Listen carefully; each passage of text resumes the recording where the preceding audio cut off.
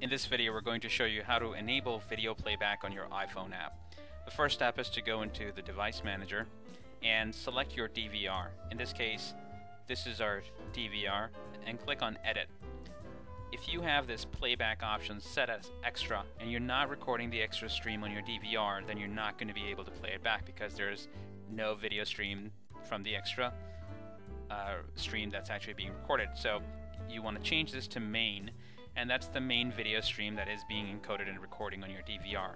Once you select that playback feature and change it to mainstream and press save, you should be able to go back into the playback feature here and play the video back. If you enjoyed this video, be sure to hit that like button and subscribe to our YouTube channel. Like us on Facebook. Thank you for watching.